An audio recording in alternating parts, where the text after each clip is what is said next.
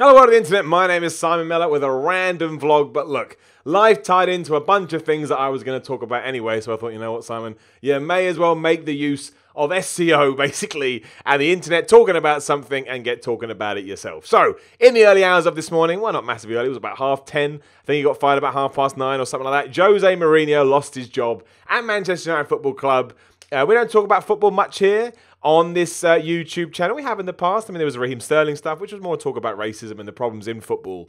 Um, but we do every now and then, again, because it also ties into something else I was going to talk about on a vlog anyway. I thought, well, we'll just speed things up. There's no rhyme or reason to these vlogs. We just do them as and when makes sense, although we try and smash out a couple every single week. Now, from a footballing point of view, yeah, I was surprised. I didn't think it was going to happen, especially because there were these rumours that if Manchester United wait until the summer and Manchester United didn't make it into the Champions League, they wouldn't have to give him any money. The fact they've got rid of him now, there's rumours that pay off anywhere from 18 to 24 million, which always makes it hard when you are a football manager, because if you do want to be sympathetic towards someone, like I say, it's really difficult. Uh, just mute that quickly. Uh, when you are being paid uh, 20, say 20 million, that's in the middle somewhere, 20 million to walk away from a job. Like if I had done what many people considered to be a bad job and got given 20 million, I wouldn't expect any sympathy either. I'm sure Jose Mourinho doesn't need any of my uh, any of my woes either way. But it did surprise me. I mean, something I would imagine it comes down to player power. We're mere weeks away from the January transfer window, and if people like Pogba, Lukaku, uh, I don't know, maybe Mata. He seems quite happy there. But maybe some, a lot of sort of players that are influential and are superstars, you know, went above him, went to Ed Woodward or somebody else on the board and went like, look, if you don't get rid of him, we're going to go. Then, as a football club, you do have to make start making a decision. Who is more important? Are we more in bed with the players, or are we more in bed with the manager? And given that Jose has come out a lot and kind of moaned and whined, and you know, make a bit of a spectacle himself in the press, and some people love that, and some people don't. You know, as a man that doesn't support Manchester United, I find it hella entertaining because is you just watch a man come out and says whatever he wants. It is fun to see, but again, clearly Manchester United decided with the players, which probably means Paul Pogba won't go anywhere. Again, Lukaku will stay put. Martial, everybody else they've got on, on, on their books. But it is an interesting situation I mean, it's weird because football is cyclical, right? The same thing happened to Liverpool. They're now back in the position where they felt like they should be for the last 20 years. Arsenal fell by the wayside. I'm an Arsenal fan, so I know what that's all about. Chelsea had their time in the sun. Now they're kind of, you know, they're not middling out to, to say the least, but they're not as dominant as they were in the sort of the Lampard era and the Jose era when he came in and made all that all that stuff happy. But yeah, maybe no matter else, you know, the rumor is they're going to have an interim manager for the next six months. It could be Laurent Blanc. I think Solskjaer's Uh, Solskjaer's been mentioned, and Michael Carrick's been in there, Phil Neville, Gary Neville maybe as a director of football, and that certainly seems to tie into it as well. It appears that Manchester United want to restructure everything, and Jose Mourinho wasn't into that, so something had to give. They do want a director of football, somebody to work above, and so on and so forth. But so yeah, I imagine getting rid of Mourinho for the for the team and for the club makes things a lot easier. They want to restructure stuff. They see Manchester United as this big entity that needs, you know, different influential members at different areas of the club, not just one person like it used to be with Alex Ferguson, because football has changed. And Alex Ferguson, I think, used to kind of run the club by himself, and that's probably why it worked so much. Same with Arsene Wenger. But then Arsene Wenger obviously had to leave as well for the same reasons it's just a different world. And I think the real icing on the cake for me was that, you know, Jose is more of a defensive minded manager. And I think the Manchester United way, although I never understand when people say, oh, it's the Manchester United way, it's the West Ham way. It's just people playing football. Either way, this is my opinion. Um, he was more defensive minded. I don't think the fans like that. The fans had turned against him. It's been pretty much controversial all season, given it's been their worst start since 1991 or something like that. So it makes sense. He's gone. It was a surprise. Uh, who they get in, I don't know. As a permanent manager, obviously uh, Pochettino is high on the list, but that wouldn't be till the summer. If somebody put a gun to my head, I'd say that's unlikely, just my opinion. Zidane has also been in the mix. Does he have the experience needed to go take over Manchester United and actually get them to where they want to be, which is winning medals, Champions League, Premier Leagues? Probably not. Obviously, you've got uh, so, um, Antonio Conte. Maybe too defensive minded again if you're looking to bring back the Manchester United way, as they say. So it'll be interesting. But I will th- I imagine that this, you know, 2018 2019 season is a write off. But you never know. You never know. Stranger things have happened in football. If Leicester can win the Premier League, there's nothing to say that Manchester United couldn't find their feet and get into the top four. Could happen.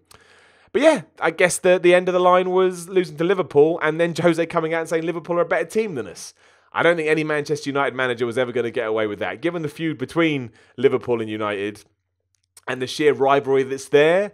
Even if you do believe that, sometimes I think you've got to put your back against the wall and think, well, I'm not going to say it because you're going to annoy the fans and you'll always lose if you annoy the fans. Of course you will. It's the same with wrestling, right? We saw it on Raw this week. The fans made their voices heard loud enough, stopped watching the television. Vince McMahon came out and went, whoops, I better, I better shake things up. However, while this ties into the vlog amount of series, and we've done, you know, we, we, we've laid the foundations, it's because a few people always do message me to say, Simon, I've just lost my job and I don't know what to do.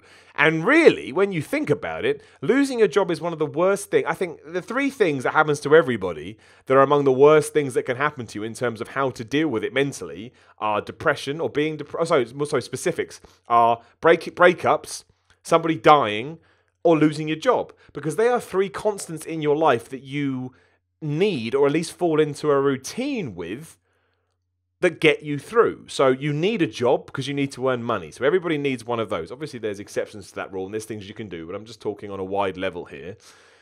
And yeah, if you do break up with a with a loved one or somebody passes away, you then have to try and teach your brain that person ain't here anymore and we need to figure out a new routine that makes sense. And that can take an awful while. I mean, we're going off tangent here a little bit, but that's why I think a lot of old people that have been together for a long time do pass away when their, you know, wife, husband, whatever, uh, goes because it's like, well, I can't go on. I've had this for so long, and the pain and the suffering must be imaginable. So they almost like they give up. And there's nothing wrong with that. I completely understand it. So the job thing is a little bit different because nobody else is involved, but it's still something you rely on. And as soon as it happens like that, there's still a bunch of stuff you have to worry about. One, where are you going to get money from? How are you going to pay your bills? How are you going to pay your mortgage? How are you going to fill up your car? How are you going to get public transport? You know, it, it becomes a very worrying thing. And especially if you don't see it coming, it can trigger depression and anxiety and worry because of course it can i think you'd have to be incredibly strong-minded and incredibly confident for it not to happen because you also have the point is well why did i lose my job why why wasn't i doing uh, why wasn't i good enough you know x y and z there's loads of different things you could talk about and I mean, the only really thing you can kind of do is try to process it as best there is. There's no magic pill. There's no magic answer. Uh, it kind of just ties into everything else that we do usually talk about on these vlogs, and that is that you know acceptance is important. Trying to figure out, let's say that it is because you did something wrong. Well, you can use that. Like most people that go on to great things, not even great things, most people that go on to any things that they're proud of have usually made mistakes and dropped the ball, but not let it keep them down. I mean, I think there's always going to be a stage of misery for everybody. No, I don't think there's anybody in the, the planet gets knocked down and goes, "Oh, I'm okay."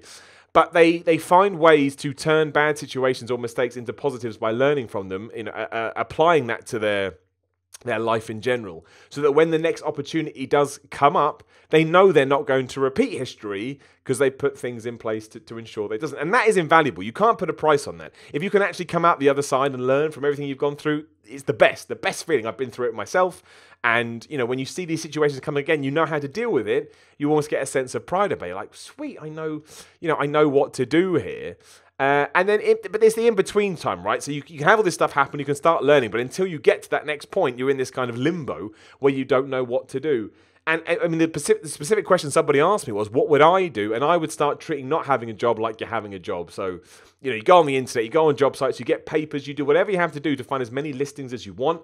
Maybe if you're a writer or you make videos or something, you use the, you know, stuff like YouTube or SoundCloud or Spotify or whatever, and you just get your stuff out there. Like at first, it may not be making any money, but if you've got time on your hands and that's what you want to do, dedicate yourself to something, throw your passion into it, believe in yourself, bet on yourself. Obviously, finances are always going to be a struggle, but if you think you've got enough to get by, just put yourself out there and maybe you start to cultivate a bit of an audience, you know, grow uh, a bit of a fan base, and then there's loads of things you can do. So treat not having a job like having a job. And as I always say, it's not as easy as flicking a light switch. You know, if you're out there right now struggling with this, and I just say, oh, do this, and go, oh, finally, you've probably already thought these things yourself. Um, I guess I'm just hoping that maybe somebody else saying it gives you a bit more impetus. Not that I'm, I'm not saying I'm the greatest person on the planet or I'm amazing. Again, I just do these vlogs because I feel like it's important to talk about stuff that you don't really see out there all, all that much. Or at least that's my theory anyway. Could be utterly wrong, but I'm working, I'm, I'm working with that idea. So that's what I would do. I would just, I would try and be as tenacious as possible. And also, that is going to help if you are feeling a bit down because you're going to fill up your days. And most people will tell you, and again, if you are feeling really bad, please do go seek help a medical counselor or a doctor, friends, family, just talk to somebody. But because you are filling your days and you are filling your time and you're being productive, when you get to a period where you feel like you should stop, hopefully feel a bit better, prove to yourself that you can do this. And as soon as you get that spark where it's like, oh, I'm onto something you know you'll have the patience and you'll have the, the you know kind of the acumen to to leap on it and make sure it goes uh, make sure it goes where you want to go. And also, of course, if you have lost your job over this period, especially Christmas can be really hard. We did a vlog about that yesterday, of all things. Um, is trying, I guess, as best as you can, just try and separate the two as much as possible. It is just another day. I know it has different connotations to it, but in terms of your progression in your life, it is just another day. You will get to where you need to be as long as you stay focused and keep working and believe in yourself. That's the hashtag. That's the motto for this one. Believe in yourself, bet on yourself, and I promise you, if you work hard enough and put in the time, the world, the world will pay that back. So yeah, Jose Mourinho got sacked. A few people talked to me on Twitter at Simon316. I was like, you know what? It's all come together too nicely. We'll bring this vlog forward and we'll do it today instead. Thank you, as always, people that watch, leave nice comments, like the video, share the video, all that stuff. It means the world to me. Uh, and I'll be back soon. Definitely tomorrow if you're on the channel. At least one video every day. Thank you very much for watching.